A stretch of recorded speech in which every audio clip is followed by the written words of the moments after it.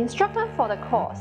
Everyone can play like a professional cellist in two weeks. This course is a beginner course tailored for people without any music background or knowledge in cello. We will learn to play a very famous and also enjoyable piece of music, Canon in D. The Canon in D by String Quartet has quite an easy cello part. You only need to play 8 notes. I will teach you the tricks to make your 8 notes sounds beautiful and in, with interpretation. You can make use of the bonus background soundtrack to play along. I really hope that you will enjoy this course and learning cello.